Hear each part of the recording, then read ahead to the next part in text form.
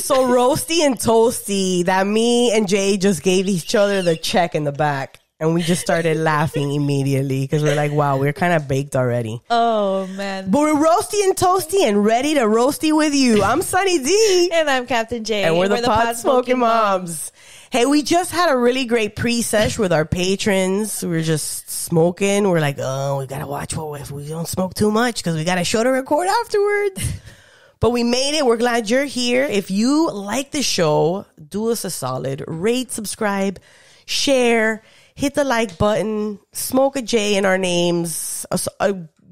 Follow us on all social medias potsmokingmoms.com the website we're still paying for it it's still up there so you might as well check it out because we haven't checked it out in a minute let us know what's happening there that would be great um yo i don't think we need to prepared for this. yeah i don't think i don't think we have to smoke anymore right now but we got a smoke sesh coming up again Yeah. Usually I'm like so ready to i'm smoke, I, I'm ready And I'm so unprepared this time. It's okay. we I smoked all my shit with our patrons before. i this. I, I i got the i got it ready What do you got? What do you have? So I had some um delivery from Rise again. I tried to get delivery, but the, I'm outside the delivery zone. Oh it's so sad. That stinks. That stinks, I say. Hialeah needs to get with it. Hialeah needs to get with it and allow dispensaries. For reals. Cause let me tell you, and it's same day delivery too. Yeah. And no. since I work from home now, like, I'm here all the time. Well, I've never left. I rarely leave my house actually anymore, but anyways, the strain I got is one of my favorites from Rise. I smoke it a lot. I don't know that if I've I might have smoked it on the show before. It's called Animal Face, which is a pretty I got that last time I was there. and it's stinky. It smells so great. Uh, I love it. I last couple of ones I got from Rise have been great. I feel like every time I get a Star Wars strain, that's always solid too. So I usually recommend people smoke Skywalker. But Boba Fett is the last one I got from Rise, which is also very good. You got something that's like the cannabis cup. it's winner. called Pleasure. From our homie at Miami High Life. It's supposedly, you said what? The recent Uh, Cannabis, Cup, winner. hmm 2023, I guess, Cannabis Cup. Well, it's still 2023 technically. So I would imagine if it was this year's cup winner, then that's what it is. Well, it is really good. I really like it. If you guys smoke it up, we uh cheers. I was so high, I forgot I did pack a bowl. Oh my god, guys! I don't know that this is a good idea, but here we go, anyways. Here we go.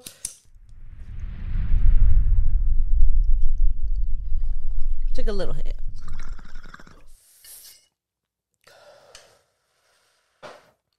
Save some room for later. Yeah, I'll hit it again later in the show.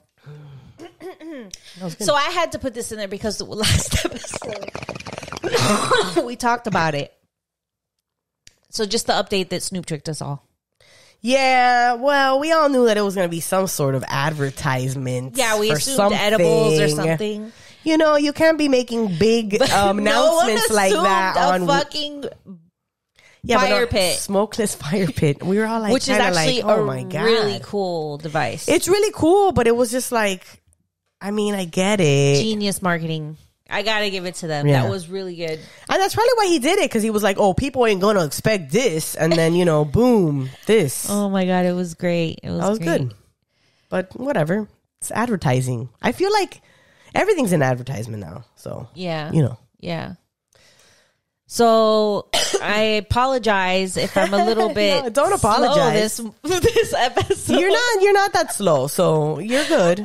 You made my feel it, but it's not it's not coming all across that way. we decided that we wanted to go out last night, my husband and I, for a friend's birthday, and it was to Wynwood, which is a very you know nice Hip. happening. I mean, area look, like let's Miami. be honest. We used to party in Wynwood all the time, all the time, and we I- were young and full of energy and vibrant. Yeah. you know, and we still are those things, but it just doesn't last as long as it used to. Exactly. So, So I feel you. I went out to a great show with some great friends. I had a great time, but I quickly realized I am ready to go home, and it was not even like close to midnight yet. I think it was like ten. Oh my God, 30 I p.m. and I'm I like, you, okay, bro. I think I'm ready to go. If I can manage to get out of the house by eight, my God, by ten, I'm like, oh, where this is done, right? We're going yeah, home. we now. got home around midnight. but it was exhausting. And then I took like uh, my friend At had a- midnight's a decent time to get home. right. I feel that's reasonable. We're not with our age. I was like, I'm I'm over forty now. I'm not gonna be out to the 12. wee hours. right. 3 a.m. Girl, I used to come back and the sun was coming up and you feel like Hollywood vampire, you know, like your skin's about to melt off. Yeah, no, I was good. I was ready to go. Can't do that no more. But it was quite a mission to get there because we decided, okay, it's Wynwood, it's Art Basel week. We need to Yeah, not drive right. there because it's going to be impossible to get parking, all that. So we Ubered there and Ubered back. Trying to get an Uber to leave felt impossible. First of all, I was shrooming way too much and I had to completely rely on Johnny. I was like, here, you figure this out because I cannot book an Uber right now. Good luck. Uh, Men in charge, good luck. And then it was just so hard to get through. no, and get a but it, but I can vouch for that. Yeah, and to me, We've I didn't understand it because I was There. shrooming and I never go out. I'm like, what is taking? Yeah, so and then you guys to get an Uber? miscalculated your dose. Yes. so my friend's like, yeah, we were trying to. He had this bar of chocolate, and he was like, each piece. We were trying to figure out how much each piece was. Totally mathed it wrong. We thought we were eating 0.2 per block, and it turned out to be 0.5. Double and a little more. Not just more. It was just like double what we thought it was. was what we so- planned for. It was so much fun, but it was just more than I expected. You know what I mean? And just being out in like so much commotion, I was overstimulated. Yeah, a lot that- when that we were like is- Mm-hmm. walking around Wynwood, and when we got to Smorgasburg, I was like, "This is like such a cool thing that I would normally really like to be at, but right now in this level You're of state, claustrophobic I felt paranoid and stuff? just overwhelmed with the people."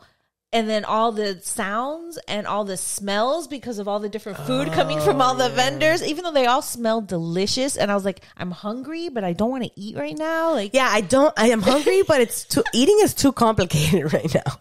You got to make the line. That's my whole thing when I'm out there. Like I got to make the line. I got to be around the people in the line.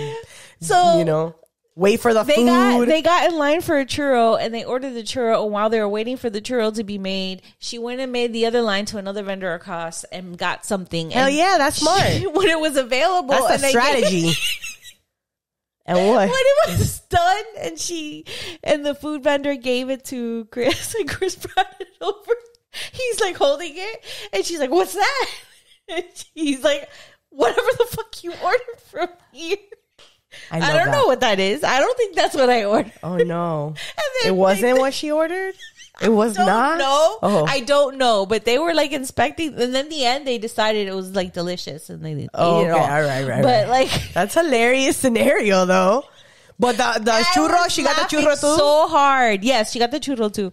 I was laughing so hard I almost peed myself. yeah, it would have been. That was really like- funny situation. like- when he's like, she's like, "What's "What is that?" And he's like, whatever the. Well, you whatever ordered." you ordered, I don't know what that is. I yeah.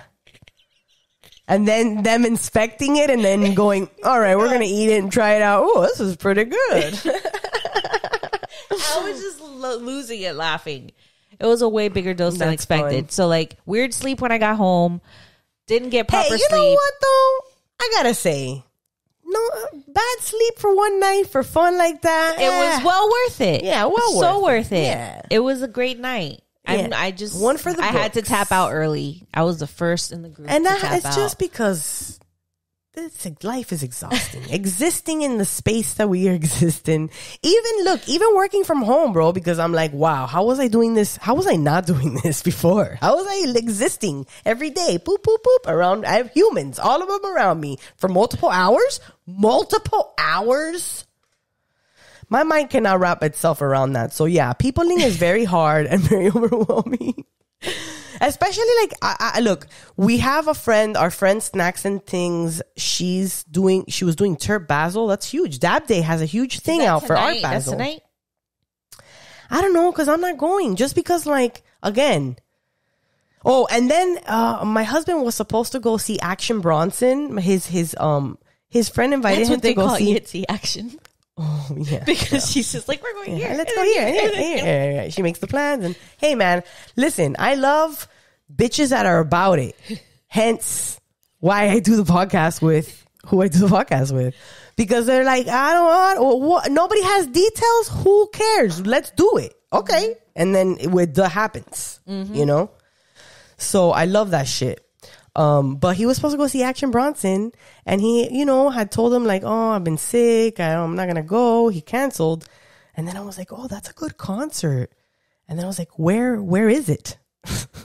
he was like, "Oh, it's at the Bandshell over in Miami Beach, at the Bandshell." And I was like, "Oh, yeah." I would have been, been like, "Yeah, no, I'm not gonna go. Sorry." You're like, no, I'm good. Miami's like, I don't know. I love it sometimes, but I really have to want to do it.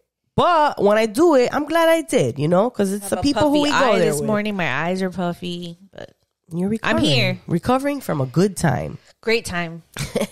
How about you? What's going on? Oh, I'm recovering too. It Yeah, was a you had great the time. COVIDs. yeah, I had the covids, and For the first time, y'all. yeah, I mean, I got a pretty good streak, right? Yeah, that's pretty good. Yeah.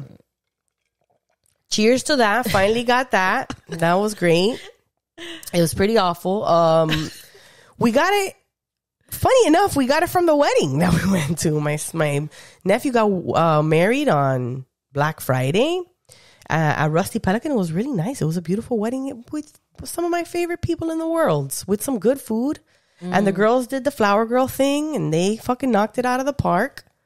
They too, Sid was knocked out, like she was sleeping. How'd they do with the flower girl thing? But they did really good. It was very, you know, intimate. It was a small. It was very. I. They you know what? Scattered the petals. Yeah, they did the petals. They did Yeah. it. They pulled it off, and they were up there being cute with my niece and stuff. And the speeches that the groom and the bride made were beautiful. Everybody cried. Uh, I was about to. It was really was cute. I was about to. Um, and then I was just like talking to. to.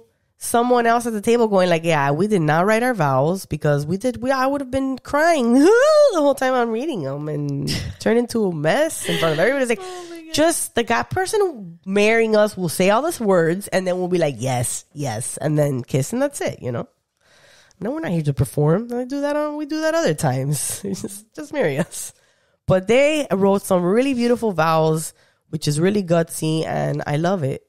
And intimate weddings are really nice. I think also too, the older we get, a more I'm going to more smaller weddings. It's not such a like a show A and big- a thing, and a big, it's more about like oh, you know, people and the food and the good times. So it was fun. We got COVID from it, which sucks, but oh well. And we have a wedding coming up, actually. Oh yeah. Oh, we do have I and I'm like, oh yeah, you do.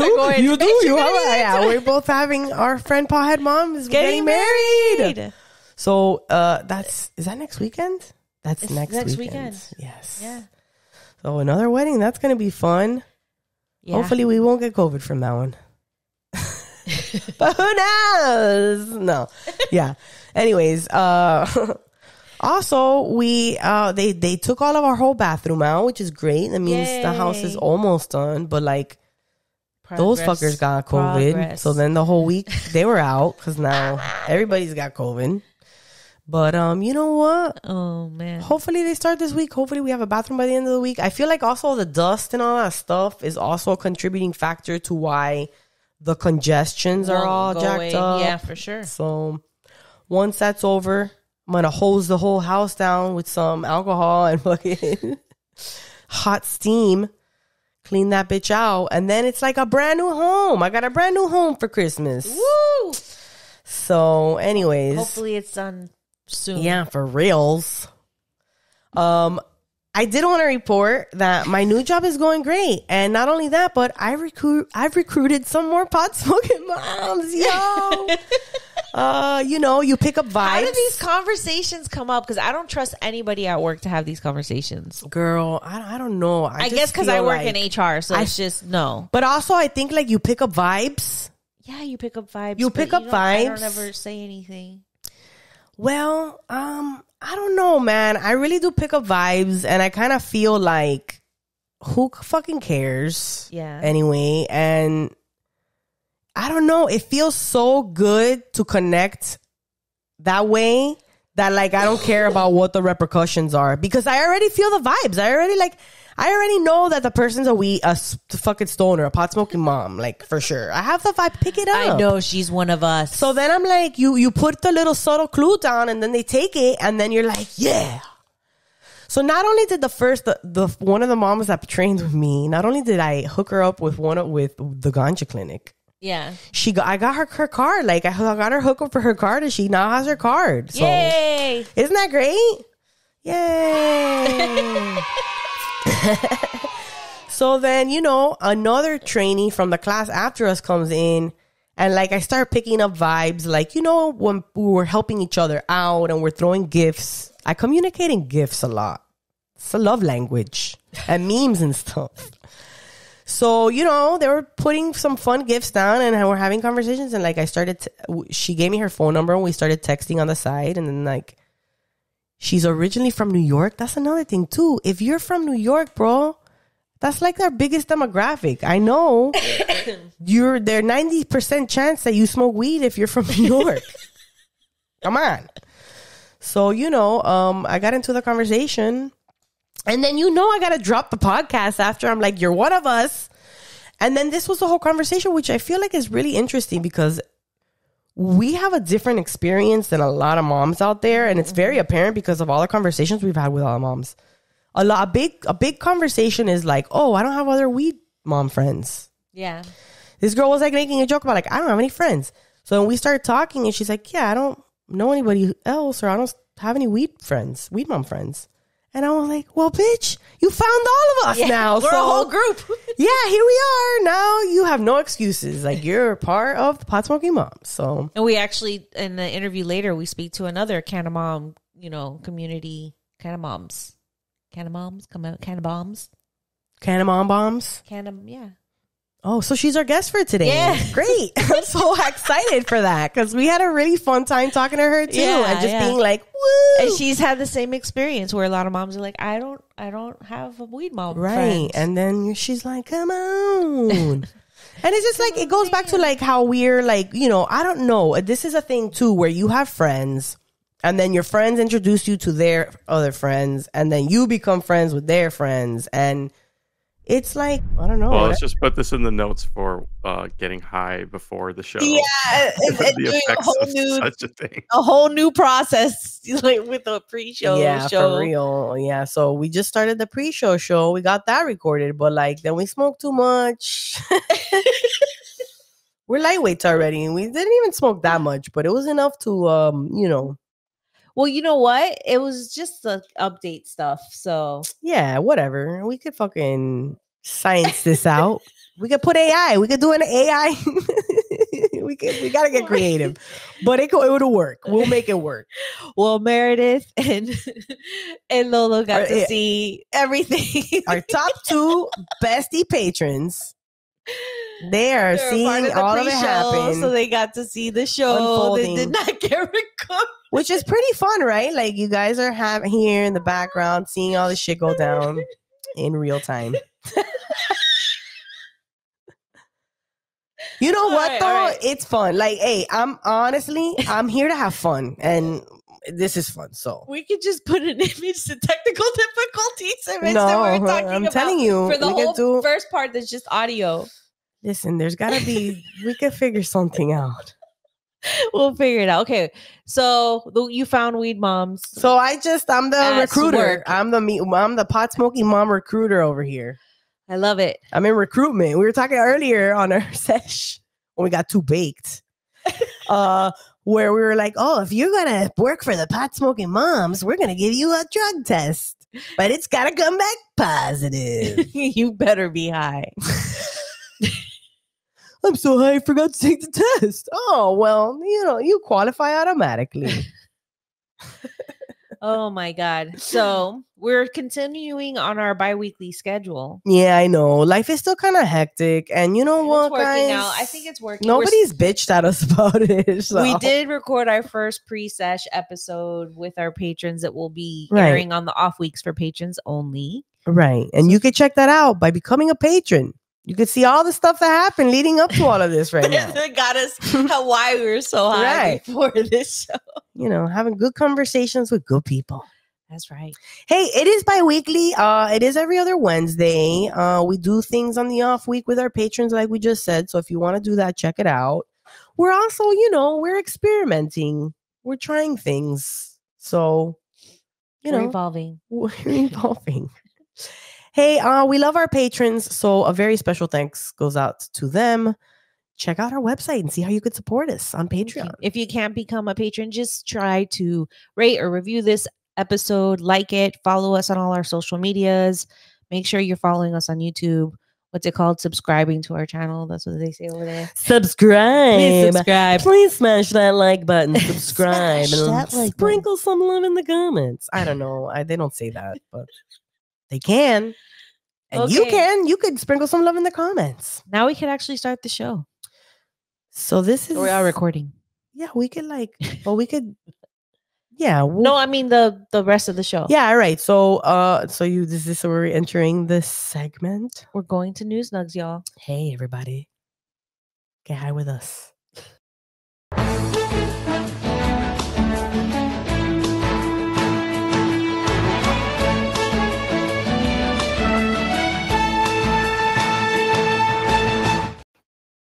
News, Nugs, where we get high and read news to you.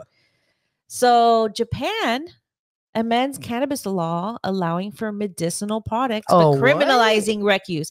But this is a big step forward because like they've always been really strict on cannabis over there. So I'm wondering. So like, wait, but if- they eh, didn't- If I wonder if they respect international, like somebody They that might. has their sometimes it takes- purposes. Yeah, but I don't know about that. If they want a foreigner with weed, no, I don't know that they're. I mean, whatever. We'll see what happens. Yeah, well, I don't know. We'll read it. I didn't. We'll see. All right. So the previous law prohibited administering or taking cannabis derived medicines. Like many other Asian countries, cannabis in Japan is illegal for both medicinal and recreational use. Though, even though, though, even with some of the world's strictest cannabis related laws, the future for cannabis in Japan looks just a little brighter as a recent move has opened the door to potentially usher in a new medicinal cannabis and industrial hemp industry in the country, though it doesn't come without its caveats. Counselors pass a oh, on Wednesday, a majority vote in Japan's House of Counselors passed a revision of the country's cannabis control law. It effectively lifted the ban on cannabis derived pharmaceuticals. al- Oh, pharmaceuticals along with establishing new criminal penalties for the use of cannabis, first reported by Japan News.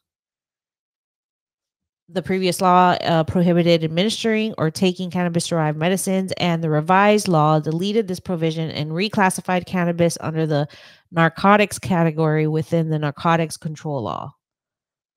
So there, okay. This effectively made it legal to use medicine derived from cannabis. So it's not like weed, it's just medicine derived from cannabis. Right. Well, yeah, and it's like, but it's well, but that's the thing though. Too. Okay, let's keep keep keep keep. Yeah, so it says this effectively made it legal to use medicine derived from cannabis in Japan once efficacy and safety are confirmed and approved by pharmaceutical affairs bodies.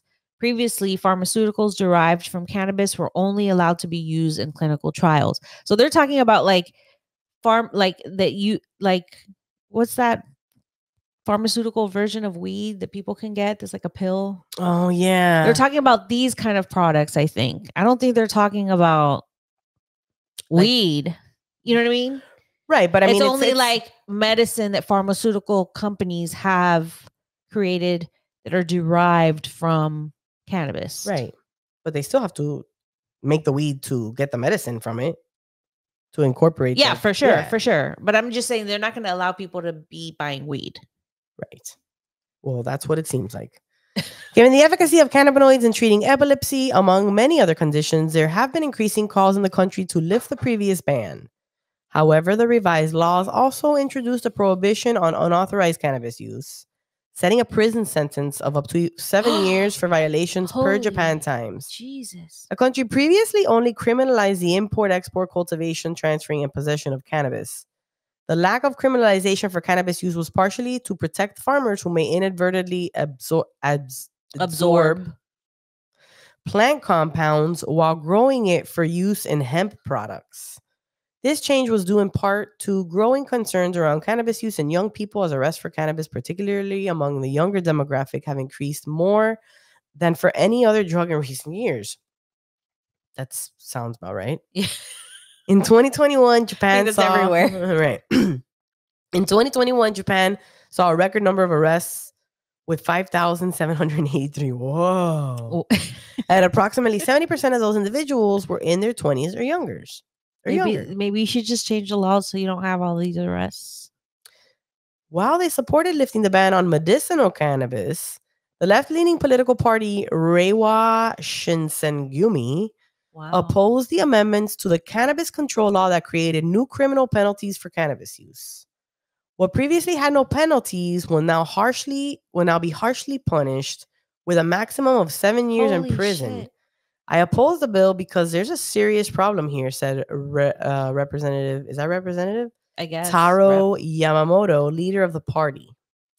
Yeah, that is a problem because they're like, oh, we're gonna legalize Yeah, medicinal right, derived it- like pharmaceuticals, but wrapped with But it's that a is, oh, we're gonna criminalize Right. even more on the other end. So now we can what? That's, That's- insane. They can't pass that. yeah, that's some fuck shit. It's likely that the government will also define permitted levels of THC and cannabis derived products over time. Currently, CBD and other hemp derived products can be legally imported into Japan so long as there is no observable level of THC and it's been derived through stalks and seeds. Can't come from a flower. When it comes to the country's already booming CBD and hemp industries, the amendment will will likely allow for products derived from flower to be imported into Japan legally so long as THC content falls within the newly defined limit. The new amendment also requires the government to establish a framework to promote hemp cultivation within Japan, which could lessen the country's reliance on imports. The government is set to increase the number of cultivation licenses in the country by changing, so they will be cultivating by changing the current Cannabis Control Act to the law concerning blah, blah, blah, blah, blah, blah, blah, blah. Yeah, I, especially that blah part. so Japan will issue two types of grower licenses. Hmm. Yeah, sounds like they're um they're, fucking shit up there. I think they're pretending. Really, uh... I think they're pretending. They're like, yeah, we're we're accepting cannabis, but no, it's a lie yeah, I don't know. That's a After I was hopeful when I saw that headline, I was like, oh, Oh wow, I could actually maybe no no. build ya, build ya. So we had for smoking socials a couple of tickety talks. We Couple got a of couple. tickety Well, you know what? And I want to preface the smoking socials with I feel like um I've been getting the teacher TikToks for a minute now, and like we had talked about one a few shows back where the teacher was like going off about the kids coming to school smelling like weed. Yeah, remember that? Yeah, yeah, Yeah, yeah, yeah, yeah, yeah. And then in that whole time too, I had gotten another TikToks, one of which, you know, there's a TikTok we're gonna show that has kind of a couple of clips of different TikToks where teachers talking shit Yeah. about dumb kids or whatever. Gen Alpha. They're saying Gen Gen, Alpha is like terrors. So like um I started seeing those back in the day and like, you know, it's the same conversation or, or when we were talking about that one teacher where it's kind of like you know, there's got to be a lot more to the story. Like we're we're, we're gonna talk a lot about it today. Gen Alpha, like I was seeing this one teacher, this one video that we're gonna show is like kind of recapping a bunch of different Right, and one of the ones that I and saw I kept were one in some there of the ones that that yeah. are in there. And I'm like, why is everybody talking about like this is not my experience with my child? And I know that every parent's like, that's not my kid, you know, but like right, and that's why I- we're. I I'm like, am I like just delusional? But I've seen how my kid behaves. Even you know, even the teachers my, themselves tell me. I wish all my kids in my class were like your, you know. well, but that's the thing too, right? So like, are we not seeing the other kids in the class that the teacher wishes our kids were like? Because so I've been to whatever. my kids' class. We should roll and- the clip, right? Well, well, well, yeah, it's I'm, a bunch of yeah. teachers hating on basically our kids' generation. Like our kids are considered Gen Alpha. Right, right. Yeah. Yeah. and I just again, what I was gonna say is I've been Kids in present in now, the basically. classroom, and I've been around other other the her peers in her class, and I don't really get this vibe. But again, it might also be from different a different de- demographic. I don't know. We could we could show the video and then talk about it afterwards. Yeah. Roll the clip. Gen Z teachers are talking about the poor behavior of Gen Alpha students, and some of y'all are finally starting to believe us when it comes to how much we've missed the mark on raising these kids right. Because I have gray in my hair and I'm 36 years old, people tend to tune me out as soon as I open my mouth when I start talking about these issues we're seeing in the classroom with our kids these days. So before I go on, why don't we review some of the evidence from some of the other creators on this app who might be a little bit more of a relatable age. This is my folder of crying teachers, and they are confused and frightened by the behavior of Gen Alpha. They're saying Gen Alpha is defiant, aggressive, disrespectful, and rude. Having to teach and work with you guys as children has been the most traumatic experience of my life. They don't respect any authority. You ask them, can you stand in your designated spot? They're telling you no and shut up. They're throwing things at each other. They're throwing things at other people, other classmates. You say, can everybody sit in their spot? I don't want to. I'm not doing that. You don't get to tell me what to do. You're not my mom. Like, I'm not even trying to be funny, but these kids are. I'm going to just say this. I teach seventh grade, they are still performing on the fourth grade level. I'm a middle school teacher. I'm also 22 years old. And I will tell you, by far, we are doomed. Like, these kids do not care. Like, I have kids, all they want to do all day long is get high. Like, I need to ask millennials, um, why are your kids so awful? And more importantly, why do you think it's so funny? Your kids cannot read, they cannot write, they are ill mannered. I've been trying to sound the alarm about Gen Alpha students and their poor behavior in their classrooms, as well as their literacy problems, since May of last year. But because of my age and how I look, every time I make a video about these topics. So, yeah, that's basically a lot of teachers, a lot of young teachers that seem very frustrated with their their class, right? their the their- kids, the just they're generalizing the whole you know generation as just disrespectful aggressive you know Yeah, uh, illiterate. yeah it's pretty crazy Yeah, I don't know. I I mean, I I'm not a teacher. I I vouch for teachers. I feel like we need to celebrate and glorify teachers more than we do. Mhm, I feel they're very underappreciated. Um and I don't know, I'm always really fighting for the teachers. I I I think that they do a lot more than they of respect for should. teachers Right. I think they do a lot more than they should. They don't get the respect that they deserve. And, they, you know, they get dragged through the mud all the time for everything. Because even just thinking back the last five years, bro, they've had to deal with the whole pandemic shit. They have to deal with the whole uh, guns because, like, you know, Yeah. that's a problem. And, that and we've pinned that Code back red on them drills. You know and it's just like i do really feel like they need to be more respected more appreciated and i don't think that that's the general consensus from other parents in other places and i mean even here here in florida but i don't know i see there's a lot of parents who are trying to like participate and be involved and i don't know what do you what do you think? It's just my experience of the kids that i know don't seem to fit what these teachers are saying to me like our kids like i think your kids are pretty well behaved you know yeah they could be a little rambunctious i mean but they're, 'cause not they're kids right Yeah. they're little kids and but stuff, they're definitely they can read right they follow instructions Right. they're well behaved other friends of mine's kids behave well my son behaves well all his friends that i know at least but my son has said that the teacher has to yell all the time because there are other kids in the class right that do misbehave and do act out and do not listen and stuff like that so like again generalizations Yeah, and demographic, like really, where are you and what are the kind yeah, what are the kinds of students that go there? I don't know. I mean, it's a pretty heavy topic because like, yeah, we don't want we want to be the best. We want to be really good parents. Like I feel like a lot of times too we are trying to heal from um you know, our trauma, our generational trauma. We're trying to approach parenting a little different. I think that we are more exposed to more information, so it's a little harder. It's a little more um, exhausting to parent in the nowadays. But I also think some of these teachers are really young too, and I don't think they have a fully formed.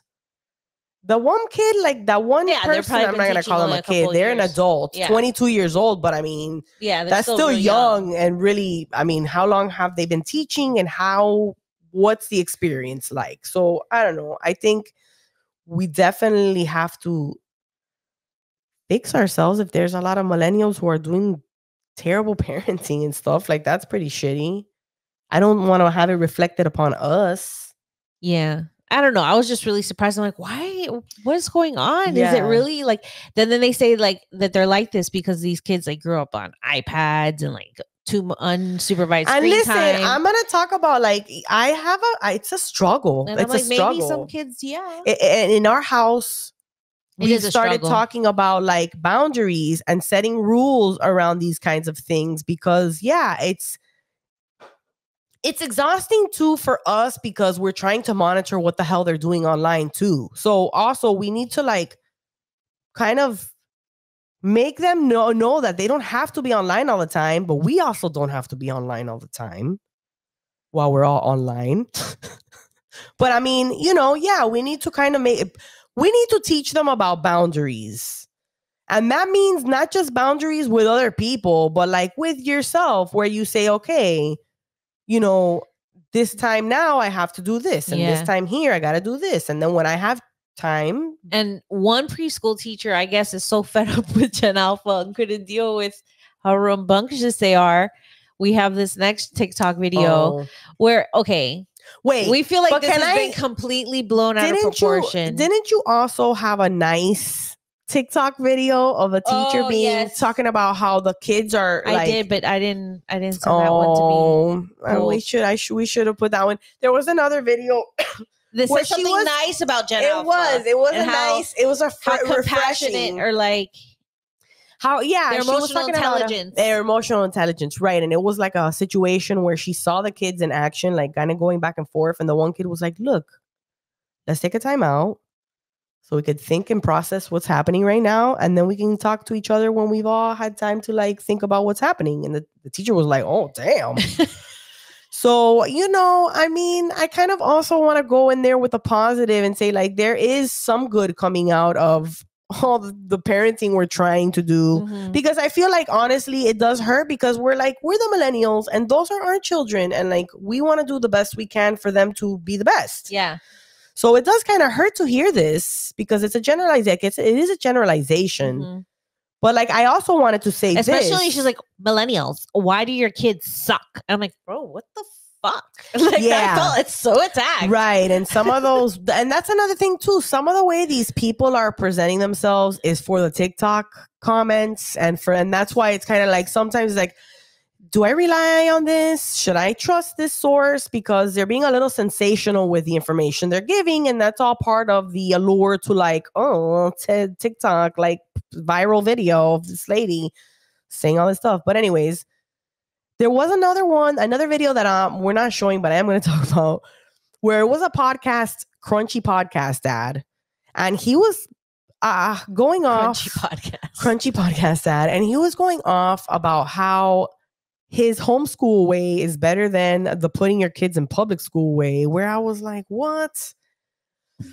And he starts talking about oh how he switched to homeschool because they're indoctrinating your kids. And i'm like going dude i know a lot of teachers and they're not trying to indoctrinate our kids. They're trying to survive okay? They're trying to teach your kids to read from scratch. Like it's just like and then while following the rules of what the administration says they have to follow. Right, and have to do although- it this way and this way only. Right, and the curriculum, which you had mentioned too, and I agree. Like, yeah, fine. The school has a curriculum, and they have to teach that. And if you think that's indoctrinating, And they're just teaching whatever. to testing. They're not teaching to learn. They're teaching to standardize testing, Right. So that they test well, and it's it's But uh, ridic- on top of that, though, I also think that like the us parents are doing educating on our end, and the education doesn't stop at the school. Like, it's not like a kid gets out of school and goes home, and that's it. They turn their brain off. Like, as a parent, you're still interjecting in teachable moments and you're trying to make them a better human. I mean ultimately uh, us anyways.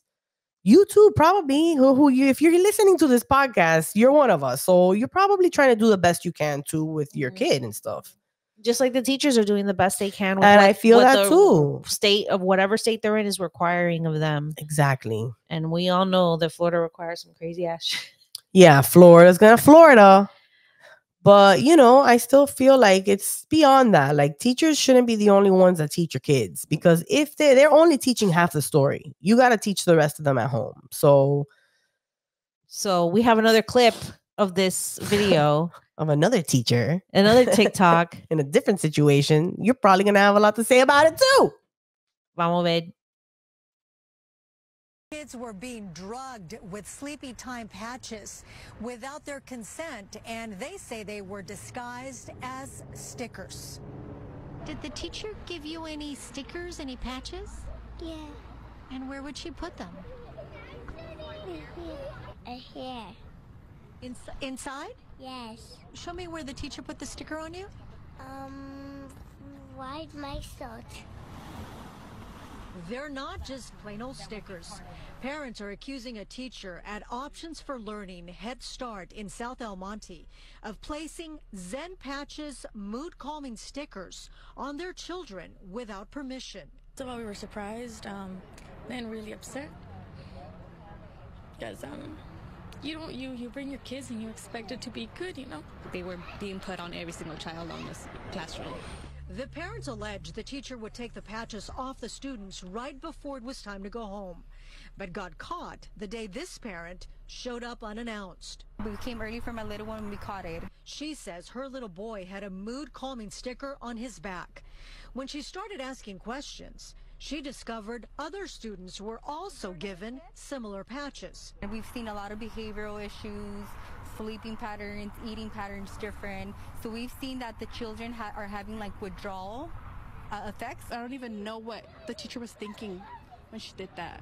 Maybe it was easier for them to control the kids, to have them fall asleep faster. I mean, as a physician, I would emphasize the fact that applying any substance like an essential oil to children without thorough understanding of their health history and parental consent is not advisable. Dr. Daniel Turner Yoveras is shocked an educator would put medicated stickers on children without parental consent, even if the patches only have calming essential oils. Essential oils can cause allergic reactions uh, for anyone with skin sensitivities, and their effects are not uniformly regulated or standardized by anyone. So there is a risk with that in itself. The school issued a statement that says in part, the employee is no longer with Options for Learning. Our investigation is ongoing and an incident report has been submitted to licensing, which will conduct its own investigation. We are reinforcing child safety with all our teachers and classroom staff. Firing her is not good enough at all. Oh, I want justice. You know, she should be in jail. Parents believe that other teachers were also involved in this incident and they have pulled their kids out of school. Meanwhile, the school itself is saying that it was only one teacher and that person is no longer there. Reporting from El Monte, I'm Gina Silva. I'll send it back to you guys in the They're sending us back. She's sending it back to us in the studio.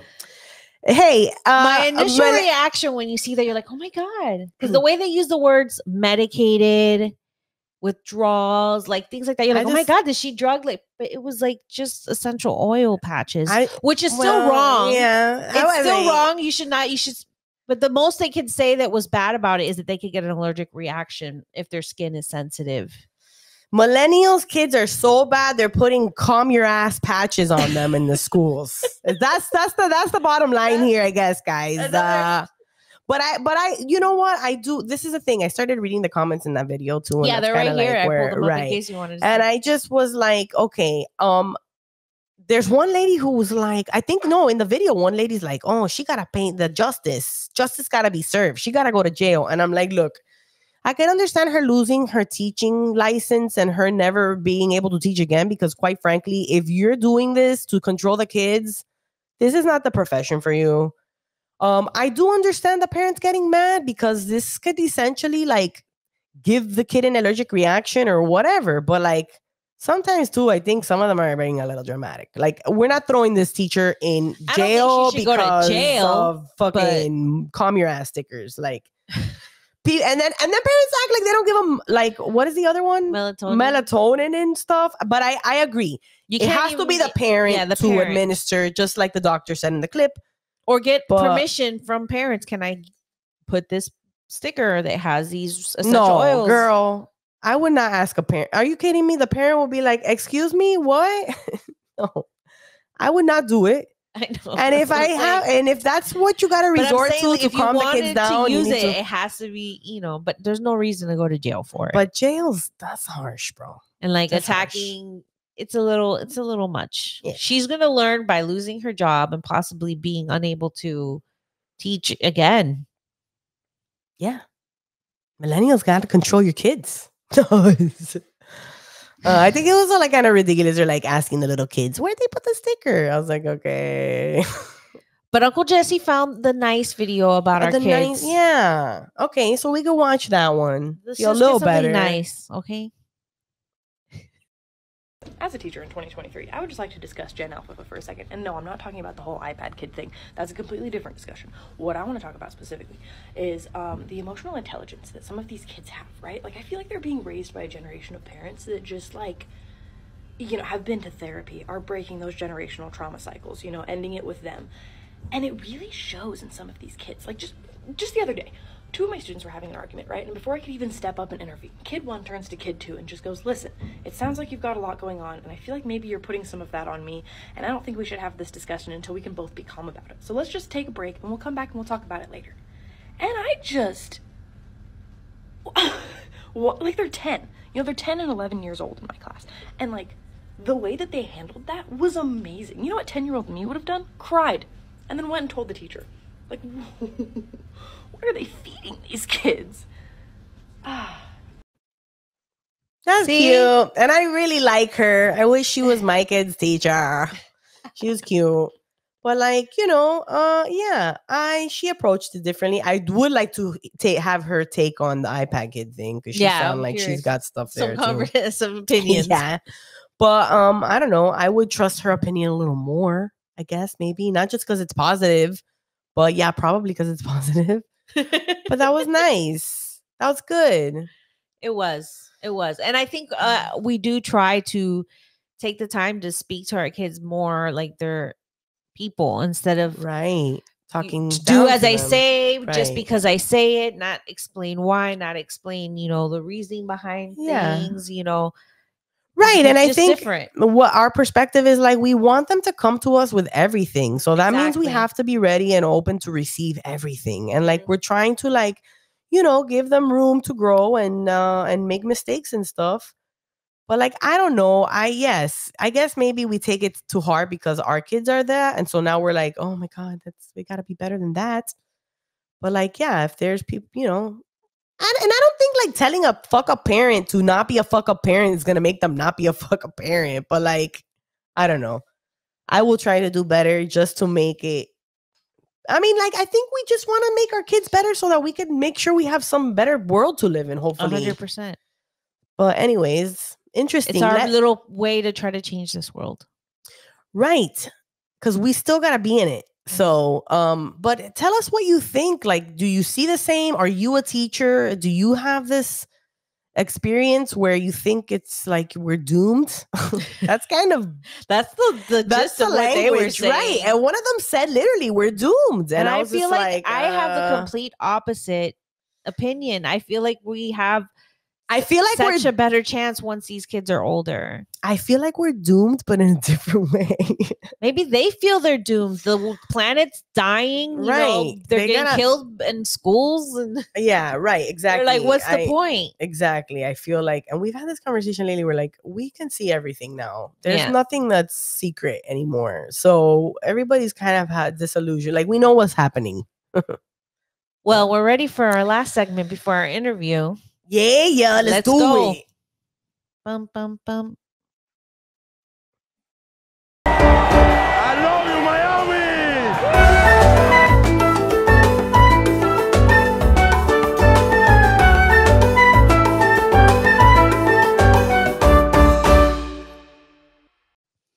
I love you, Miami. All right, so Fe- Florida medical marijuana company asks court to block legalization initiative that would significantly impact its business and patients. Oh, This sounds like they're only thinking of themselves to me. They're not really worried about everybody else. So, a Florida medical marijuana certification company is seeking to block an adult use cannabis legalization ballot initiative in the state Supreme Court, arguing arguing that the reform disproportionately prioritizes profits for recreational sales and that it would significantly impact our business operations and the well-being of our You know, clients. and I never thought about that situation, that scenario where now that it's recreational, it would be putting a damper on the businesses that do give the license to have the ability to purchase the weed. A hundred percent. Yeah. Because people are like, what do I need to get my Right. medical license for anymore if it's just legal? Right. So, My Florida Green, a service that connects patients seeking medical cannabis cards to doctors who can certify them, is asking the court to allow it to submit an, an amicus curiae brief in the case contesting the smart and safe Florida legalization measure that was brought by State Attorney General Ashley Ashley Moody. The company says that it's not supposed, oh, sorry. The company says that it's not opposed to adult use legalization in principle, but it's arguing that there are potential consequences of the 2024 constitutional amendment that would impact patient care and public health. We are not attempting to block adult use, my Florida Green CEO Nick Garulay told Marijuana Moment. However, we are shedding light on the bastardization, bastardizing of the constitutional amendment that we passed for medical cannabis back in 2016. And a Hater.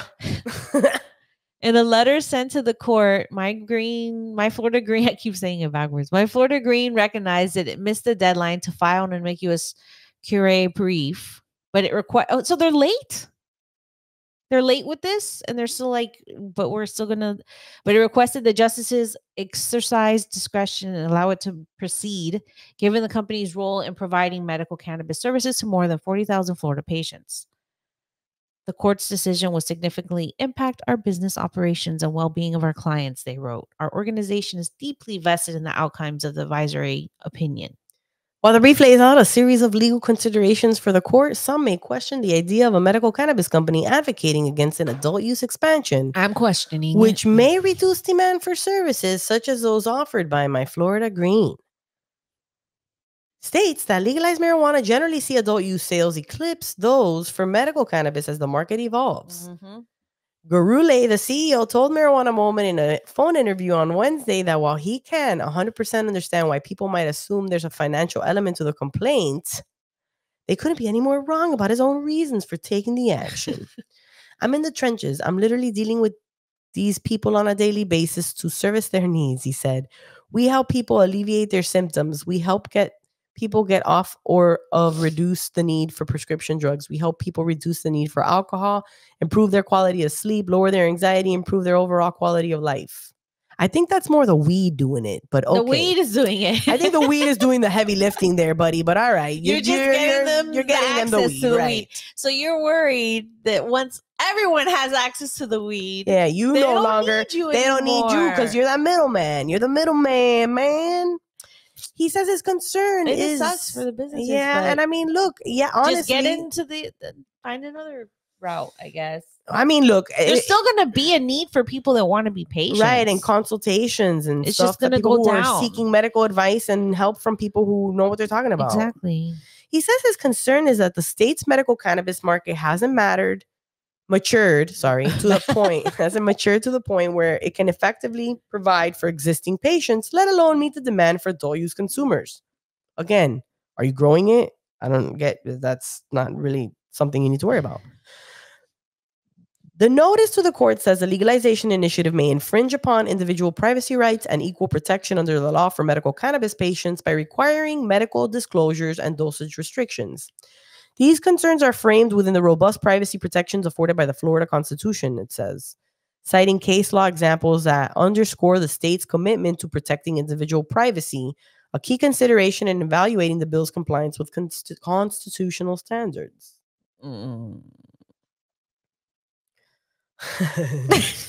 hey, that's fine. We could just end that there and be like, well, you know, some would argue it, it does Look. suck. It really does suck because they were making money off of this. But like at the same time, I mean, there's still going to to be a market for people that need their medical cards. It's just going to be less. Right, and that's going to affect their businesses. So they're just gonna have to. hundred percent, it's gonna affect. their Right, and that's the whole have to worry adapt about with the market. Yeah, you have to evolve into to whatever the, the uh, market is because you can't hold, hold everybody back just for your I own benefit. At the end of this, it says a poll released last month found that nearly seven out of 10 registered Florida voters say they support the marijuana legalization initiative, with majorities of every demographic surveyed in favor of the reform. Yeah, look, so I'm like telling you, 70% of Floridians want It's adult happening. use cannabis. it's happening. If it's on the ballot, it's gonna fucking happen. But on top of that, this the whole middleman doesn't need to exist. And unfortunately, that's what the, this fucking America is all about now. Capitalism is how we can we nickel and dime you. their money? How can you how can you get nickel and dimes for every goddamn thing in, in America? And this is like the same thing. I was having a whole fucking blowout conversation about insurance and how useless that is and why the prices are they are is because insurance. That's the middleman. And don't even get me started about your insurance for your insurance. That's a whole nother scam too. But at the same time, it's like, yeah, we and then we want to grow it. So, right, the other middleman, which would essentially be the dispensary, they're trying to put a stronghold on the market by not including home grow. And that's something we're gonna have to fight for once we get rec. Because that's the way it's gonna happen is rec is gonna happen. Who's gonna benefit directly from that? It ain't gonna be this guy who's bitching about this shit here in this article. Mm-hmm. It's gonna be the true leave, the people who paid to get the ballot, to get it on for you to vote, which you will vote on. Yeah. And then, oh I mean, yeah, other all the other benefit steps. too, like all the people in the state that now have access to legal cannabis. right. But it's like, like, I have you a friend see- visiting that's been working. Okay, a friend from here, but has been living in the state of Oregon for several state years already. Is here visiting home and working from here for a while, and he was asking like, "How do I get weed?" You know, because he was so used to just being able to go anywhere and just buy it because he's lived in a state that it's been legal for a very long time already. Yeah. And he's like, now I'm back here. And I'm like, what do I do? I was like, oh, if you're not a medical patient, legacy over here. there's this here. medical over here. Here's Miami High Life on Telegram. Right. He's a good friend. what do you want to do? there you go. because but like you know it is kind of convenient on the tip of like having your card but also people who are like oh that's expensive it is it's a little expensive also too dispensaries have had to get competitive with their prices as well so the prices are not as crazy as they used to be like you can get a decent bud for 25 30 dollars Yeah. an eighth. Mm-hmm. And that's pretty good. And then when you see some of the dispensary deals that some of these dispensary have like yeah i will say i would like to i i, I get from what is convenient what is priced right. So it is a highly competitive market but i do understand those people are like oh i gotta pay every seven what is it seven months? For your license and then your rec your script? Yeah. With the doctor so it's Well, no, like- your license is annual, but then your script is every seven months. right and that's the middleman here who's like i don't want you to fucking have access to it. It's all those people, all the clinics and stuff. Yeah, I mean, listen, unless you have billions of the millions of dollars to put into getting people to sign stuff. I had I, I went to a craft show with um with my friends and my kids and the the at the door they were signing petitions for women's rights for abortion, abortion, rights. yeah, and I was like, "What?" And me and her were like, "Yeah." And we were signing and they're like and I was like making a funny joke with one of the ones when we got back out. They were asking us to sign. I was like, no, but I'm ready to start passing out the clipboard with you because, like, yeah, everybody should be signing for this. Yeah. And he's like, oh, you can make money. And I'm like, yeah, I know because we know people who have done that for Mhm. this whole ballot initiative that whatever you guys we've done we've gone through the whole process of it so it'll be really interesting to see what happens now when we vote for that stuff I think it's gonna pass. i think it's gonna pass too With that, we're coming to the end of the show with our interview with uh our homie that we met on Instagram. yeah she's got a lot of hot videos man she's going off She's great she's Her doing content's great. yes Lindsey Corum owner of cbd topicals company canna bombs Cannabombz. host of canna moms podcast and canna moms club events she's just like us. We're just like her. Yeah. Well, except she's got a whole pop. She's got a very she has a whole very CBD Cannabom CBD company. Yeah. Um, they're organic, high milligram, low price products. She talks about them. Her focus is helping as many people as possible with her products and also creating a community for moms who consume and utilize cannabis. We had such a fun time with her. Hopefully, we get to meet her in person. Here is our wonderful interview with Lindsey Corum. So we've been friends on social media and we've we've interacted in that way. So it's been it's nice to finally meet you face to face. Yes, I know. Um, tell us a little bit about uh, Cannabombz. Okay. Uh, Cannabombz is a CBD topical company that I started after I had a major foot surgery. And my body just like absolutely rejects any kind of medicine, like pain relief type, you know. Um, and I can do anything for it except smoke weed and use a topical. So I was making them myself. And um, once I saw how much it helped, I like started selling it on Instagram, just like through DMs and stuff, and got to the point where I started a website, and that's basically how it started. And I make organic, high milligram, low price CBD topicals. So what kind of topicals like are they scented uh, or anything like that? Like what what would you how would you describe your top topicals? Well, don't worry, I have some right here. So this is my best selling product. It's a pain relief salve. Um, everything from like a sunburn to fibromyalgia, chronic back pain, nerve pain, you name it. Like I've got a review for the product on that ailment. Um, and then they make roll-ons for anxiety, headache, and insomnia. Ooh, that go- you put it like right here on your temples and Yeah, and like behind your ears, on your wrists. Um, swipe on your foot if they're clean. and then they make bath products. They make bath bombs, and then they make bath fizz. Um, where this is just Oh. a bath bomb in a bag, basically. So it hits the water and like fireworks out, basically. And they're high milligrams. So this has 800 milligrams. The roll on has 500 milligrams. And then the salves are either 2500 or 850.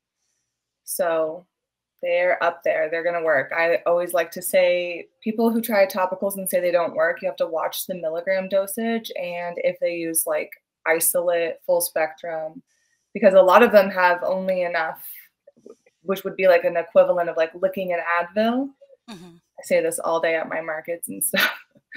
But yeah, you can't expect to like for your headache to go away if you like lick an Advil. So putting a topical that has 100 milligrams and it's in this, that's Yeah. not going to do anything for you. So I set out to make high milligram options that were still affordable because no one should have to pay that much money just to have pain relief.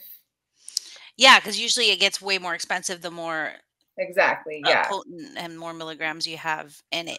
So you know, like a lot of people are like, oh, it doesn't work for me. Like, what can you expect? What what kind of effects can you expect when you apply a topical? Because I I honestly don't have a lot of experience using topicals. I have heard heard people using it for headaches and applying it like on their on their forehead and their temples, but I'm not very familiar myself. Yeah, that's a good question. So uh, it's like um right on that spot relief, right? So when you take something and you ingest it, that's going to go and do its thing everywhere. Whereas you can have, you know, immediate relief on, like, say, your elbow, say the ligaments in your elbow are messed up because you played too much pickleball or something. I don't know. That's popular now. Um, you put it right on there, and uh, it it's fast acting because everywhere you have a hair follicle, you have a CB1 receptor and that goes like right to your endocannabinoid system. Now, what people can expect gets a little bit trickier because we all have a different endocannabinoid tone and we all take it in differently and we all need a little bit more or less. Like it just depends on you. So um, I like to say as needed. But um, I have highlight bubbles on my Instagram, Cannabombz uh, with a Z, and it has hundreds of reviews. So I like to just tell people if they're on the fence, just like click through those reviews, and I there's going to be one that makes you change your mind because, I mean, they're insane. These reviews. people are off um, pain meds and like not taking Tylenol anymore. They're, I mean, it's crazy.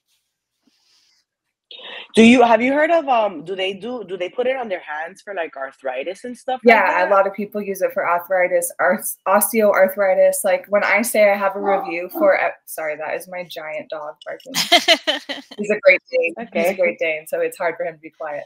Um, um, people have ar- osteoarthritis, um, have, have given me given me reviews about it, and um, everything from like joint pain, knee pain. I mean, yeah. So to answer your question, yes. Cool. I definitely need to turn my mom onto that because she has rheumatoid arthritis, so um, she Oh, gets yeah. like a lot of swelling um in like the joints and like you know hands, uh, ankles, things like that. Yeah. So like stuff- you say you have they all so- these like you've already named a few, but like maybe what other some uh, some of the other ailments that you see people using it most commonly for? Um, also like period pain. Um, when you have cramps, you can apply it to your lower abdomen and it helps Mhm. a lot with that, especially the bath bombs because the anti-gravity of the water and covering your whole body in it like can give it more basically more CB1 receptors to enter through. Um, so that's another one. Pregnancy pain, stretch marks, um, eczema and psoriasis, skin conditions like that. Uh, Pretty much Wow. any autoimmune disease, Hashimoto's, like anything like that. Um, people have used it after tooth uh, ex- extractions and things like this for like Okay. on their face. Uh, Hmm. After tattoos, people use it for after tattoos. I bring it to my massage therapist, and she uses the salve, and I make a I make a massage oil sometimes. I like restock it every now and then. Um, yeah, so I mean, I make a lube, which helped a lot of people with like IC, endometriosis, PCOS, like cervical pain. I get, I've had people message me and be like TMI, but this shit works on hemorrhoids. Like I hear it all. I hear it all. So yeah, Oh, it must be so nice to like get really good feedback like that for your products from people. yeah. I mean, Awesome. some I've definitely had some adversities with the business and in my life where I've been like on the fence about continuing, but I get a review a, a, cou- a couple a day, a few a day that I feel that. just like, okay, I, That's how we feel with um, podcast Yeah. yeah, same. A podcast Yes, I have a podcast too, and people are like, "You're the reason why I." I'm like, "Oh my god, we can't stop now. Like, whoa. so yeah, that's Cannabombz. So you came to CBD to help with your own relief, and you discovered, you know, it's very helpful for many other things. Like uh, before that, like how often, like, do you are you a regular consumer of cannabis? Do you enjoy, you know, using cannabis, you know, like THC products as well? Yeah. So, well, first of all, my products are full spectrum CBD, so there is THC in them. That way, you get the entourage effect because every cannabinoid needs to be present for you to feel like the full relief of the plant. But yes, I consume every day. I was just out back with my man smoking before I did this with you. Um, uh, yeah, I host a podcast called Canna Moms where I advocate for moms who should smoke weed because you guys get it. That's why we're Yeah. all together now. Um, someone's got to fucking stand on the rooftop and scream it, and it's going to be us, I guess, right? And when did that relationship start? Like how, like what age? When? Tell us about your first time smoking weed. Yeah. So I I have like kind of a deep and interesting, intricate story with it because I when I was younger, my brother was seven years older than me and he was getting into trouble, like juvie on like probation for it, like doing UAs all the time, failing them.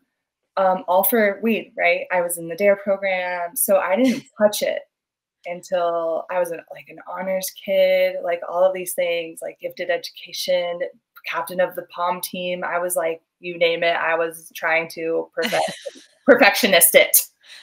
Um, Overachiever. yes, yes. And then so ultimately, and then my, my brother ended up passing away because he was in like the wrong crowd and like doing drugs, right? Um, that's what I thought. Um, and I had this huge stigma with it. Like I couldn't. I was like everything that Dare taught me and what I had seen through my brother. I was like, no, that's a drug. I'm not touching that.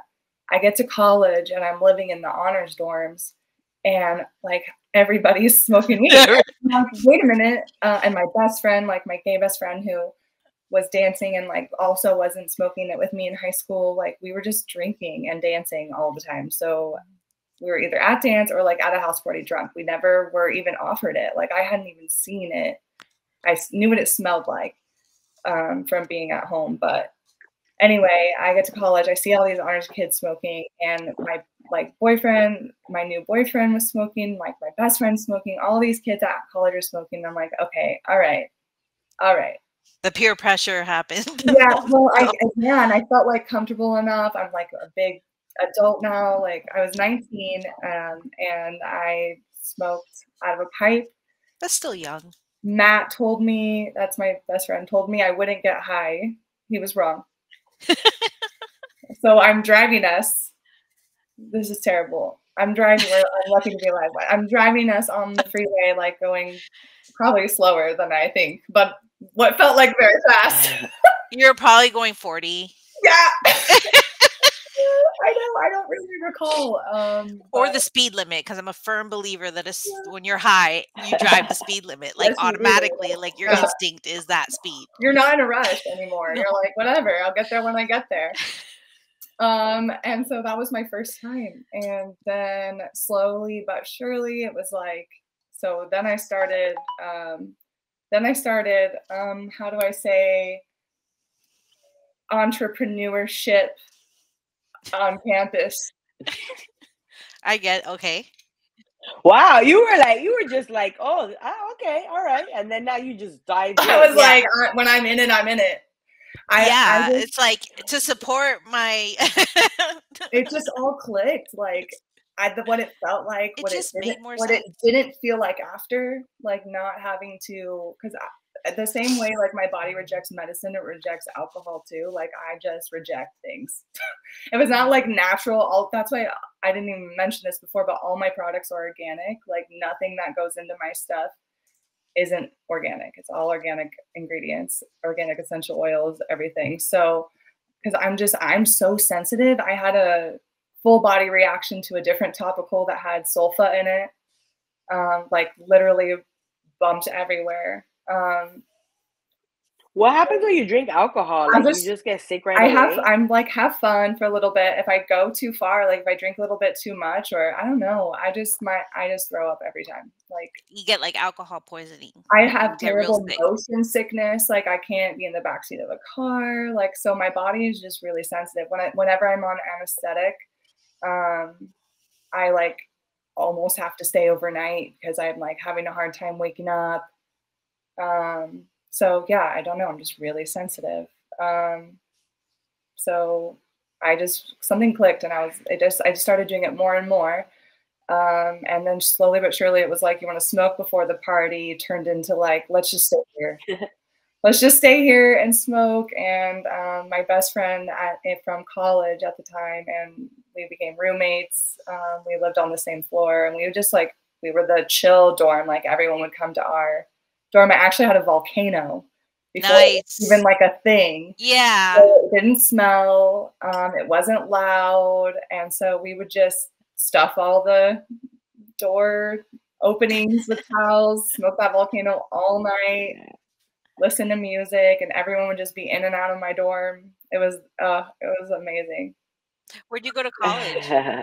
That was college. Um, ASU, Arizona State. That is so cool. You live like the legitimate college That's life where you live in the dorm. You go like, are you from Arizona? Did you? Yeah, yeah, still like up- close to home. Like I grew up about like an hour from ASU. Okay. So I was pretty close. Uh, yeah, I studied abroad, like smoked weed in a lot of countries. so I had like That's awesome. movie American experience. no, I just went to my local community college, but but I did travel and I did smoke weed in a lot of countries. Isn't it? It's like easier than you think, than people think anyway. That's awesome. So, like, how many how many kids do you have, and how are open are you and your husband with your family and your kids about your cannabis consumption? Well, so my whole family knows my deal because of Instagram and like my following and my mouth. so your business. It's your life. If they're really a part of it, they should know, right? Yeah, they know about it. but it's your Um, life. I would say about half and half, like, get it. Some support me, but not really it. Like, they're like, yeah, good job. We're proud of you. But then, like, don't share anything or, like, believe, believe Right. cannabis should be a medicine and things like this. But listen, as much as they can do is fine. Um, and then, so I have two biological kids and two bonus kids, I like to say. Um, I have been in their lives since they were three and a half and 12 months. So they they feel like mine. Yeah. they are 14, almost 12, and then mine are four and a half and two and a half. Mhm. And I mean, they know what I do. They know what this is. Like this is. when they see a weed leaf, they say can of bombs, but close enough. um, my older two know exactly how we feel about it. We don't drink. I mean, I drink like if I go to a dinner with my friend or something, you know, or I don't know, very socially and very rarely. Sometimes I even just skip it. It depends. If I have a joint or something, I I will skip it and just use that.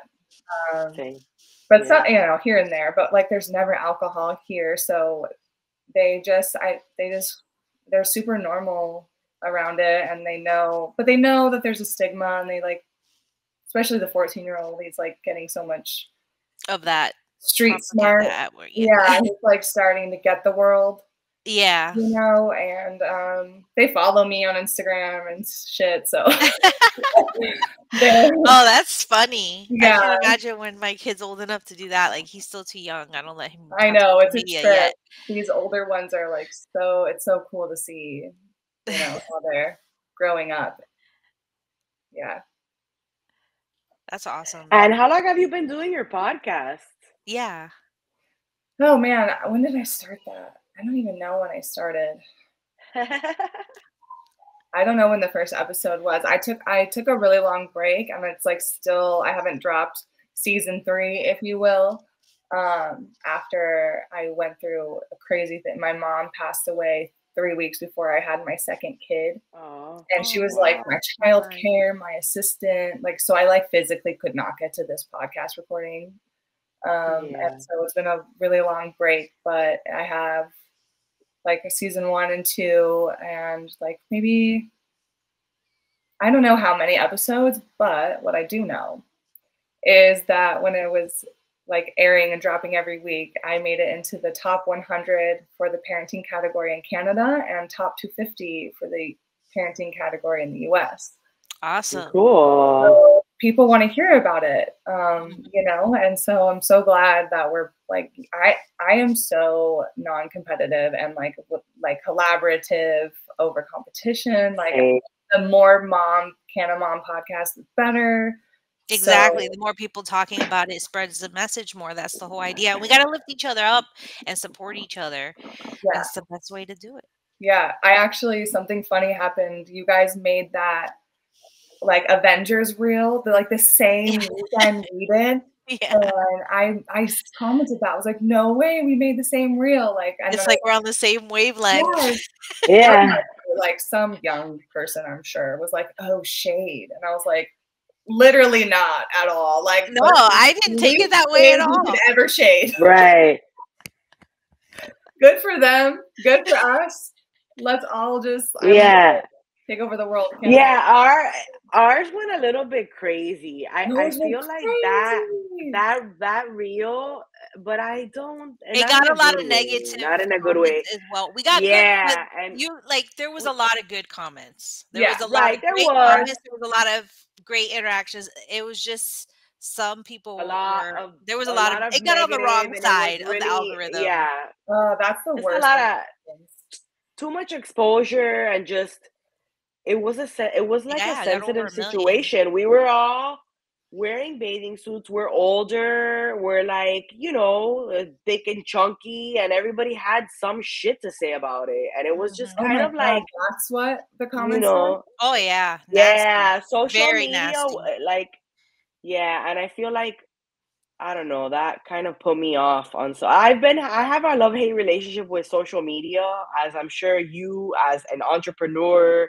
and and podcaster, And and plus the way we're creator. censored as what our content is because of what our content is. Oh, I know. Being yeah. about cannabis, like we're suppressed on top of that.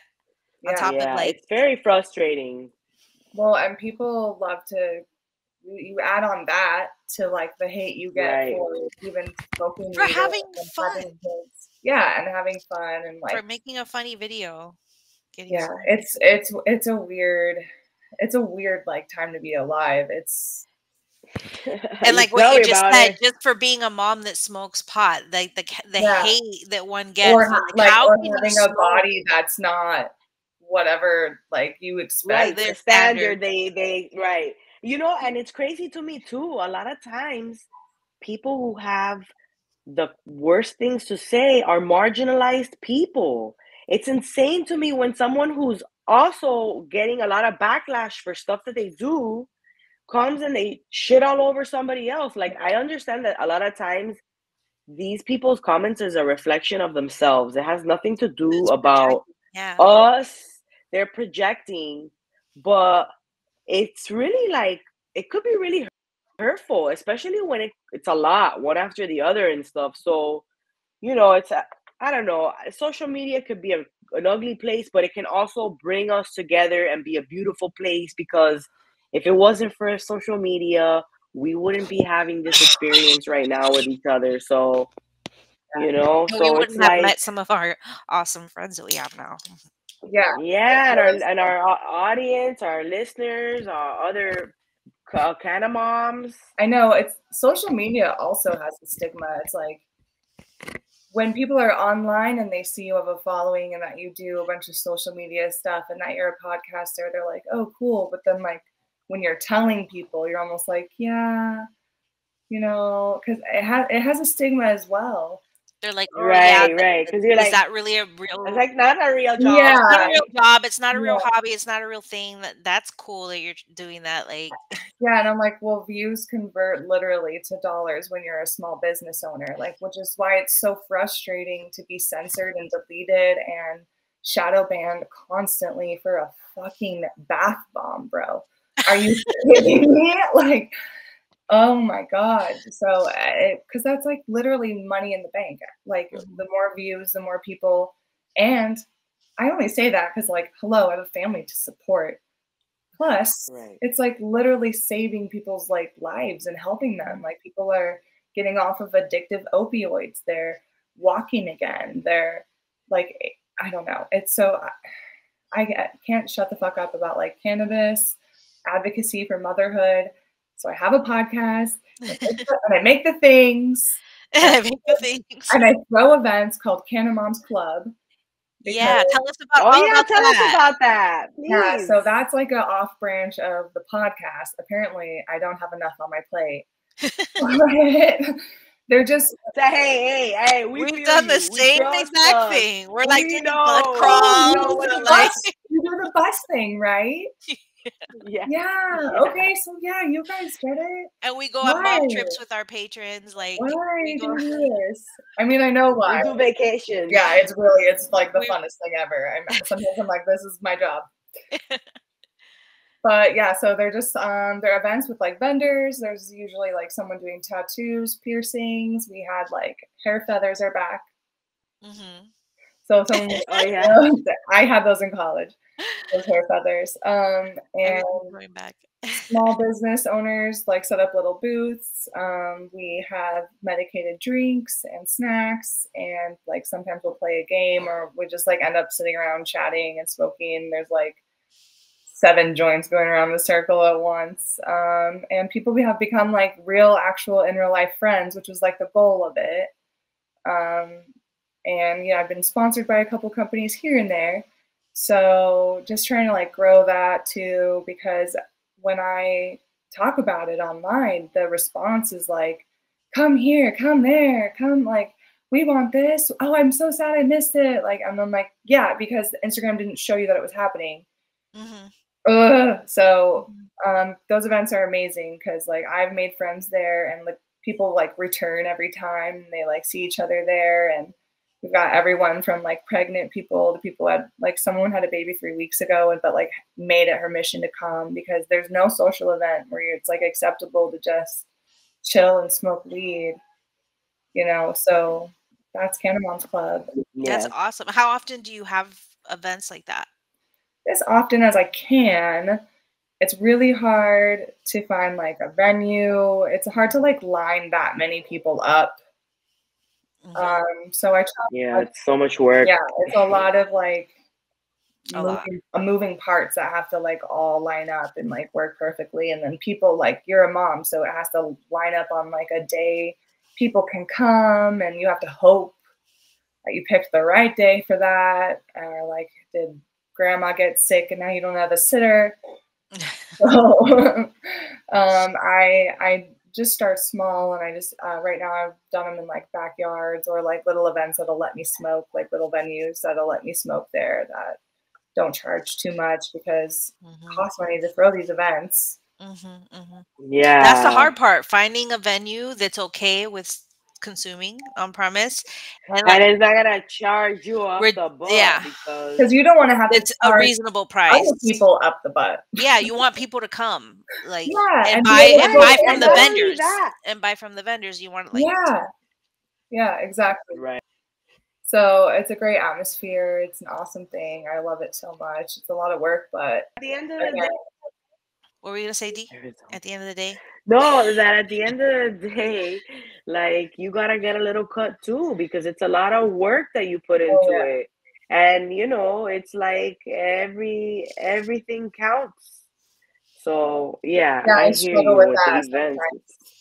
Yeah, like paying myself and Yeah. you know, Right. it's a lot of mm-hmm. work and time that you're putting into that, and making you're the ticket like five dollars more, so like I can have that five dollars.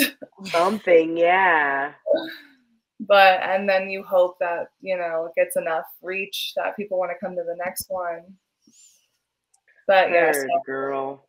heard, yeah. So it's a I struggle as you learn how it works. Yeah, on top we're of in the like, same boat. yeah, on top of the kids, I've got the business, the podcast, and the events. So just trying to make it, man. That's hustling, fun though. I would love to go visit you in Arizona. That seems I like love nice. Arizona. Is so beautiful. It's so We're like fun. where we are is very flat, and over there, there's like That's mountains. true. Yeah, we have mount- uh, there's like a huge mountain out my front door here. That's Oh, awesome. that's so beautiful. I love Yeah. mountains. It feels so magical to be around ma- mount- mountains. Speaking of magical, what is? Uh, how do you feel about psychedelics? So I've started to do like a little bit of microdosing here and there. I took a couple capsules and then I have like this chocolate that like every square is a certain amount. Um so I yeah, just had some chocolate myself. That's the best way to do it is microdosing it. yeah, that's yeah, because I I don't know about like tripping yet. That's fun in the right environment missed my and the right time and place. Right? Like I feel like You didn't miss your boat. No, I didn't. No. So you I tell mean, me about it then. in the right time and place at the right time and place there's a time for that you don't have to go like bananas tripping but at least like Okay. a like a little bit more than a microdose i just Okay. feel like Just it's an like experience of it's just a lot of fun it's a lot of fun like i've always done it at like um either music festivals or out outdoor places i i like to be outdoors when I Okay, I've take- heard that. Yeah, be outdoors and like listen to good music. I've heard that. I've heard both of those things. Mm-hmm, My friend's like, "You're built for ecstasy." The thing about me, though, Whoa, now we're going to ecstasy. Here we go. like Molly, I think she said, um, I, Oh, I'm I already love- so I'm already My- so like crazy. I don't want to say crazy, like I mean by that I mean like outgoing, extroverted, like dancing to the music, like making a fool of myself, like when I enter any establishment, not caring who's like I'm already like that. So people like already think that I'm That you're already a- or yeah. And I'm like, no, this is just the base. This is just the starting point. So like I don't even know where I could go from there. Who knows? We're gonna find out. Maybe if you guys come visit, we'll go to like Sedona and you can. you So can you've never done Molly or any or no, like literally. That, did did you hear how goody two shoes I was? I've never touched anything. I was always my friends did it constantly, like. But I was, to be honest, I was just always uh, dancing. Even in college, Yeah. I did like the hip hop team at ASU. So like I couldn't be partying? party. I mean, I could I could get like drunk, basically, is what. And I could have smoked. I See, instead of drinking when I was like young in high school, I was doing E no. I instead of drinking. See, I stayed so far away. I in high school, I thought cannabis was also like bad. I, oh no, I smoked cannabis in high school. was oh, senior year. Senior year. That's not too bad. Go bad. No, no, yeah. Yeah, I was like thirteen. Well the first time you I gotta take a tried it, I was I was a freshman the first time I tried it. But like when I was like using it regularly, I was already a senior, like in high school. Yeah, that's not so. I was a bad. late bloomer too. I didn't start did in college. until after uh, high Like school. you. Yeah, But Yeah, you uh, you were a little bit older in than her, like college. 20, 21? I, no, I was eighteen when I Oh, met okay. So just got out of high school? Yeah, I just, well, okay. So I had a one time where I was in high school and I tried it, but it was like nothing. It was funny You because didn't inhale. like no, I what I yeah. I, That's what I I was shouldn't told get high. to me. Right, right. So, and it was so funny because I didn't know how to roll a J. I didn't know how to do any of this stuff. The guy behind me would come in high as hell all the time after lunch. And I'd be like, yo, and he'd be in the best mood. I'd be like, yo, can you hook me up? What's up? and then he did, and I didn't know how to do it. And I didn't want to ask him to do it for me because I was lame. You know, he was already getting me the weed. So we, you know, whatever. But officially, that was, I want to say that was like junior year probably. Uh, but officially, like, uh, yeah, I was like 18, 19. It was when I first met Robert, who is my husband now. At the time, he was my bro- boyfriend, and he was the one that had, but he was the first one for who, the first time? you know, yeah, exactly. Aw. And now look, you're married. And now look, we have a podcast. My husband was the first time I smoked pot again. Like the I the first time I tried weed, I was a freshman and then I stopped and I didn't smoke again until I was a senior. And it was because my husband as well. I smoked with him. Look at that. We ended up marrying those men. Look at that. I started Oh, look at that. The ones that introduced us to Mary Jane. Nice. Yeah, I was just smoking it, and then when I met my husband, he was like, "We should grow this. It'd be cheaper." Mm-hmm. And that's how this all started because we started off growing. We just started off growing, and then That's then- how you end up selling it. Yeah. That's a good man. What is that TikTok sound? What's a TikTok sound? That's a good man. That's a good That's a good man. What was it say? I don't remember. Savannah. Savannah. Savannah. Oh, yeah, That's a good Savannah, man. yeah. Savannah. It's a good man. That's how you know. Lock it down. Yeah, man. Oh, we gotta grow it. Oh, damn. Okay, let's go. I mean, it makes sense. You know how much you save save so much money. Yeah, yeah. For that- he- that's what he does. So Yeah. great. That's awesome. That's my So- whole life is like basically based off this plant. And in Arizona, it's um medical and recreational, right? Yeah. Yeah, because you guys recently recreational's only been a couple years. Uh, really? I feel like maybe I don't remember what year it was. time, Like I I feel like time has just Yeah, everything since 2020 I know. I'm like, what? has felt like one year to me. I agree, but I, it feels like No. I I disagree. This year, 2023, has felt like five years, bro. I feel like I have eight. I'm 80. I turned 80 this year. Ugh. well, I'm so ready for 2024, and then it's like 2023. Oh, oh, the year's almost over. It flew Here's by. some COVID. I haven't had COVID. I have not had This is her COVID this whole time. This is the first time I have gotten COVID. But it was like, hey, we're here. You might as well have some of this before the end of the year. One more thing. One more thing before we wrap this up. COVID. Ah, for real. Yeah, that's that's Spotify Wrapped. that's not fun. I've had COVID like three fucking times. I mean, it's just like, and then it's like we you get sick, and then it lingers, and then it goes away, and then it comes guys back. have been on or one of your rotations of kids being brings sick. it in. Yo, like, we goes- need to get a despojo, Goes through the get house. a witch person. doctor. So, do you have anything uh, more you want to share with our audience? We'll let them know where they can find your podcast and give you them your website and stuff like that. Um, do you have anything like coming up that you want to like share or anything? Like you said, Um, season three might be coming. Yeah, I've recorded about four episodes so far, so they're dropping soon on Can of Moms with a Z. Awesome. Um, and I do events. I, I'm on other podcasts, so just following along, turning on post notifications, engaging, mm-hmm. signing up for my email newsletter on my website, mm-hmm. Cannabombz.com at the bottom. Yeah, so that would be the best way that they can learn about when you do your next event. Uh, I would say social media. Instagram is my main. I'm like on my stories all the time. I'm like my personal life. I'm I have all three of my things linked in the Cannabombz, and I just basically that's my home base. And I have other Instagrams linked there as well, and the website and all of that. But that's where I do all of my everything from is Cannabombz. She was so much fun. I hope you enjoyed that interview.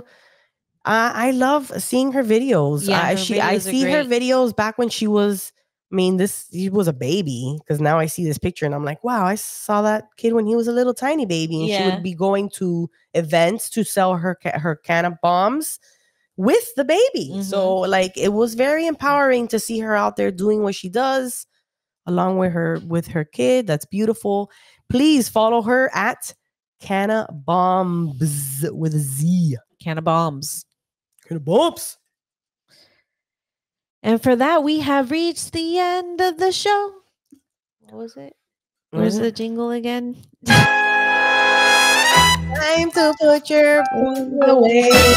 Oh, the end of the show. Right. we keep, we're always late. Yeah. we don't- to put your bones away. Oh, God damn it.